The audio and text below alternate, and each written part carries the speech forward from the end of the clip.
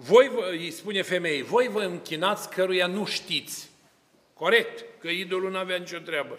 Noi ne închinăm căruia știm pentru că mântuirea din iudei este, vedeți? Deci Mântuitorul o ia întâi cu rădăcina credinței. Mântuirea din iudei este, de aici începe revelația. Dumnezeul lui Israel a deschis Marea Roșie. Dumnezeul lui Israel a necat carele lui Faraon. Dumnezeul lui Israel a hrănit poporul cu mană în pustie. Dumnezeul lui Israel a scos apă din stâncă, din piatră. Dumnezeul lui Israel a poruncit și au fost învinsă cetatea Erihonului atunci când au înconjurat-o cu trâmbiți și cu surde și așa mai departe. Nu repetăm Vechiul Testament.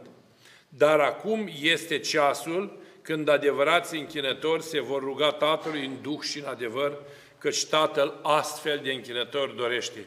Și iată strecoară din nou un element nou. Se vor închina Tatălui în duh și adevăr. Ce înseamnă să te închini în duh și în adevăr? Este exact ceea ce n-a înțeles materialismul dialectic, științific, a celor 50 de ani de comunism. Cum să te închini la un Dumnezeu pe care nu-L vezi? Cum să te închini unui Dumnezeu care nu se arată? Cum să te închini unui Dumnezeu care suportă întristarea și El să crede bun?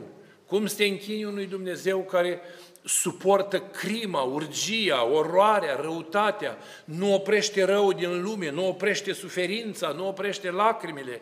Chiar mi-a plăcut și zilele astea când a zis cineva, zice, foarte greu îl înțeleg pe Dumnezeu. Și am zis, dar ce nu înțelegi tu la El? Păi zice, faci așa niște lucruri, zice, că te crucești. Păi tocmai de asta le face, ca să-ți faci tu cruce. Făcându-ți tu cruce, descoperi cât de necunoscute sunt cărările minții lui Dumnezeu de cărările minții noastre. Că spune așa, gândirea noastră de gândirea lui Dumnezeu e ca răsăritul de apus și ca mează zi de mează noapte. Ceea ce credem noi că este rău la Dumnezeu e bun și ceea ce credem noi că e bun la Dumnezeu este rău. Asta e marea taină. De aceea noi trebuie atunci când ne rugăm să împlinim acel cuvânt, cum a spus Dumnezeu atunci când vă rugați să cereți și să credeți. Că nici nu v-ați rugat și Dumnezeu știe de ce aveți nevoie. Că nu cere omul pește și îi dă șarpe sau cere pâine și îi dă pietre. Dar noi, cum spune acolo, răi fiind, știm să dăm daruri bune fiilor noștri. Dar cu cât mai mult Dumnezeu nu știe ce daruri să dea fiilor săi. Și atunci Dumnezeu vine și ne răspunde darurile mele sunt pe măsura lucrării voastre. Și când poporul iudeu s-a rătăcit prin pustie și a luat-o în arătură, când s-a dus să închina la idol, când s-a dus și a călcat poruncile care le-a dat Dumnezeu, i-a lăsat de capul lor până au fost cotropiți de neamuri și după ce s-au trezit, cum cântă, cum se termină psaltirea, la râul Babilonului am stat și am plâns când ne-am adus aminte de Sion. În sălci am pus organele noastre, țambalul, toba, ce aveau ei de cântat uh, muzica Vechiului Testament. Și la un moment dat își aduc aminte de greșeală și spune, cum să cânți cântarea Domnului în pământ străin? Bine, asta e o mare taină, e o mare, e o mare tâlcuire mistică a inimii spurcate în care chem tu rugăciunea lui Isus. Și spune acolo că cum să cânți cântarea Domnului în pământ străin? Mai degrabă, zice, să se lipească limba mea de grumazul meu de te voi uita pe tine, Doamne. Uitată să fie dreapta mea de voi uita Ierusalimul. Și în felul acesta au fost legați iudeii de Ierusalim și ei au știut tot timpul că Ierusalimul este centru de existență a ceea ce înseamnă prezența lui Dumnezeu. Cetatea Sfântă și Pământul Făgăduinței făgăduit încă de acolo din robia Egiptului, când stăteau și făceau chirpiși, mâncau carne de porc. De ce v-am amintit lucrul ăsta? Ca să înțelegeți că azi avem centrate trei puncte de Ierusalim – avem Ierusalimul geografic pe care îl vizităm cu autocarul și avionul. Avem Ierusalimul din inimă, locul curat unde îl păstrăm pe Dumnezeu tot timpul, ca într-un sfânt mormânt, dacă inima este curată și luminată. Avem Ierusalimul minții, unde Hristos poate totdeauna sta pe tron de slavă și să strălucească. Și avem Sionul sau Ierusalimul ceresc, acolo unde este patria Sfinților. Ierusalimul de jos, este în mâna oamenilor. Ierusalimul de sus este în mâna Duhului Sfânt. Aici jos să-L vizităm și ne ducem când vrem și care vrem și călcăm pe urmele lui Isus. sus în cer, acolo ne duce rugăciunea sau cărarea de lumină pe care ne-o facem noi singuri, de la patul de unde ne-am născut până la ușa de la mormânt unde ne-am culcat. Pentru că noi, de fapt, ce facem în viața aceasta? Facem o mare trecere. Ne sculăm de pe patul copilăriei și ne așezăm în leagănul bătrâneții. Ne-am sculat prunci și ne-am culcat copii. Pentru că în momentul în care închizi ușa și treci dincolo, se deschide ușa Ierusalimului Ceresc, dar pe trei criterii. Te-ai rugat, ai lumină, ai crezut, ai țintă, ai cale și ai avut nădejde, ai mântuire. Ei, acest lucru vine femeia și acest lucru vine Iisus și îl spune femeii, dar vine ceasul când adevărați închinători se vor închina Tatălui în duș adevăr, că de astfel de închinători El își dorește. Închinători care să se roage Dumnezeului celui simțit, nu văzut. Degeaba stau eu și pup strana asta toată ziua dacă am draci în mine. Nu-mi folosește cu nimic. Dacă îmi simt pacea din inima mea, aia o pot exprima. Asta și dacă e din aur, o pup, dar tot aici rămâne și tot moartă și stearpă. Dar când Hristos s-a atins de inima ta, acolo se aude acel cuvânt. Am simțit că o putere a ieșit din mine. Cine m-a atins? Și în clipa respectivă, Petru, care era la fel ca Samarinian, ca de priceput în teologie, spune și că, Doamne, păi în îmbulzeala asta tu întrebi cine te-a atins? Și ce frumos îi răspunde Iisus. Am simțit puterea ce a ieșit din mine. Și femeia a spus, eu am pătimit, eram bolnavă, am cheltuit și m-am gândit că dacă mă ating de tine, mă fac sănătoasă și să vindecat scurgerea. Ei, așa trebuie să vii tu în fața icoanei.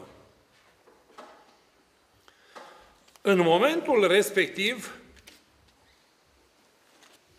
apare din nou dialogul care continuă.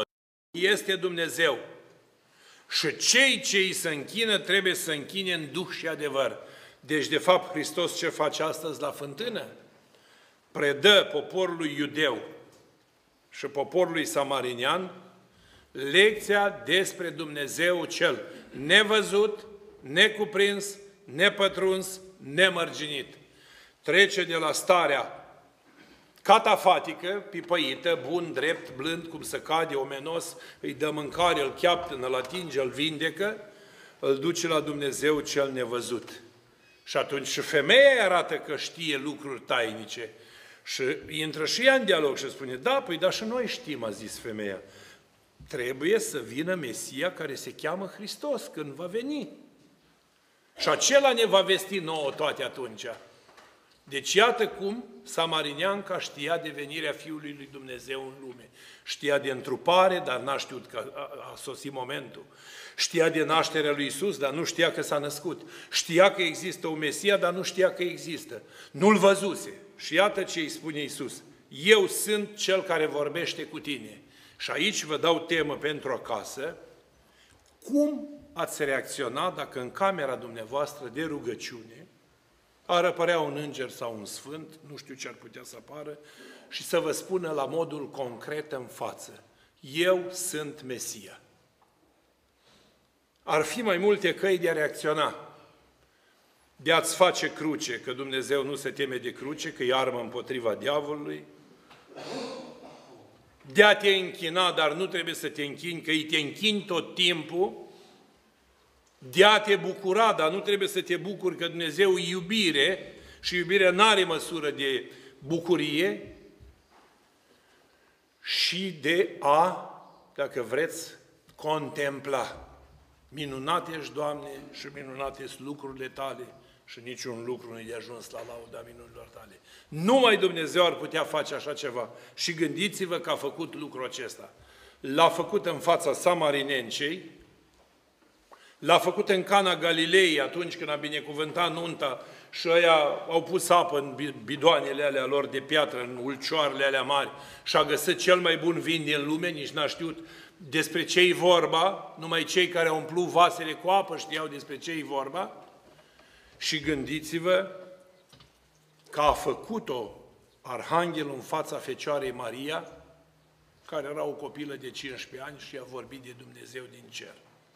Ei, aceste lucruri sunt atât de înalte, sunt atât de sofisticate și în biserică se închide puțin telefonul ca să nu deranjăm. Deci sunt atât de sofisticate, sunt atât de adânci, că astea nu sunt lucruri care să le explici numai stând la predică în picioare obosit după o jumătate de zi de slujbă, ci acestea trebuie citite acasă în taine. Când vă duceți printr-o librărie, puneți mâna, se numește așa, Grigore Palama, Simion Nou Teolog și Nicolae Cabasila. Laude închinate Maicii Domnului. Și că e o carte albastră. Căutați-o cu atenție și faceți-vă lecturi duminica din ea și atunci veți putea înțelege în profunzime dreapta credință. Credeți că sfinții ăștia n-aveau ce face pe vremea lor, erau așa de perfecți, erau uh, pixuri chinezești și cerneluri scumpe și cu sidef și cu perle și aurite și șlefuite și hârtii? Nu să scria pe piele de vițel, să scria pe piele de mel, să scria cu tocul, cu condeiul, cu papirusul și totuși la mână, nu ca acum bagi în tipar, nu mă dai un telefon, am nevoie de 2000 de cărți de 2000 de cărți de rugăciune și în trei zile ai baxul la poartă, le dai și le găsești uitate pe la iaz, nici nu se duce cu ea acasă. Nu.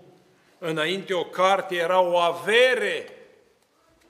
Închipuiți-vă și știți mai bine că pe vremea regimului comunist o Biblie în casa omului era poate unicat și poate la unul din 50 de familii sau 20 sau poate 100. Și astăzi fiecare om, dacă te duci în casa lui, are un raft dedicat lui Dumnezeu plin de cărți ortodoxe. Ei, lucrul ăsta poate fi și o sândă și o binecuvântare. O sândă în raportul femeii cu sam- samarinence cu Hristos, care niciodată n-a știut cine e Mesia și l-a avut în fața ei și a fost convinsă și a crezut în el, deci iată cât de promptă trebuie să fie credința și dacă ne uităm noi astăzi, mereu repet lucrul ăsta și am să-l repet, să-l băgați bine la cap, că pentru noi e o palmă pentru creștinism.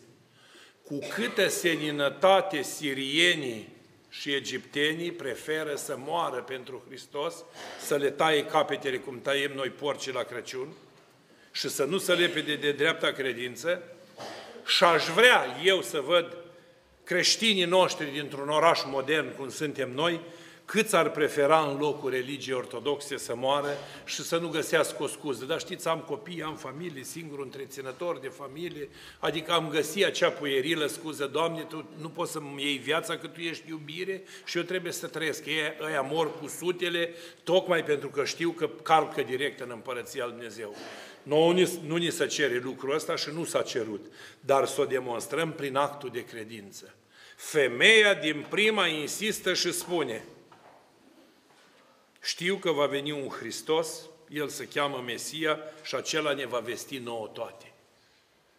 Câți din noi cunosc problema venirii lui Isus Hristos din punct de vedere apocaliptic? Nici 1%. Toți așteaptă Apocalipsa la televizor și uite la filme cu SF.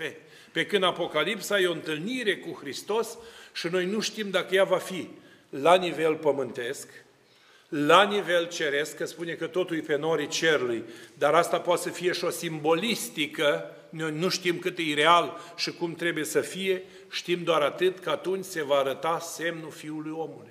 Și cu câtă pace și bucurie vine Hristos să-și vadă ca un comandant de oști oastea care a învins lucrarea diavolului și să o felicite, iar oamenii să tem și scuipă în sân și fac cruce că vai de mine vine Apocalipsa. Deci nu vor să vină Hristos. Că Apocalipsa asta înseamnă să te arăți, să te revelezi. E o teofanie, dacă vrei, e o, e o arătare de Dumnezeu.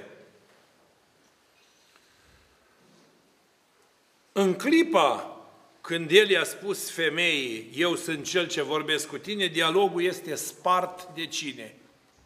De ucenicii care tocmai s-au întors și foarte iritați cum de-și permite Iisus să vorbească cu o femeie. Vedeți ce interesant? Unde dai și unde crapă. Însă nimeni n-a zis ce o întrebi sau ce vorbești cu ea. Vedeți?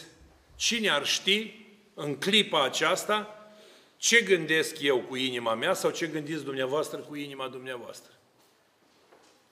Sunt diferite. Unul zice, băi, să termine că plecăm, cine știe ce mai are de spus cât mai stăm, altul ascultă. Dar noi mergem pe ideea că suntem concentrați aici de față să vedem ce vor apostolii. Apostolii văd o fază care nu înțelege nimeni. O femeie care abandonează găleata, deci vedeți, și o ia în cetate la fugă. Și ce face femeia în cetate? Le zice oamenilor, veniți să vedeți un om care mi-a spus mie toate câte am făcut. Nu cumva acesta e Hristosul? Deci dintr-o cărătoare de apă devine apostol. Ce n-au putut să facă apostolii, a făcut această femeie care s-a dus în cetate și a spus tuturor ceea ce a văzut ea și cu cine s-a întâlnit. Și au ieșit din cetate și veneau către el.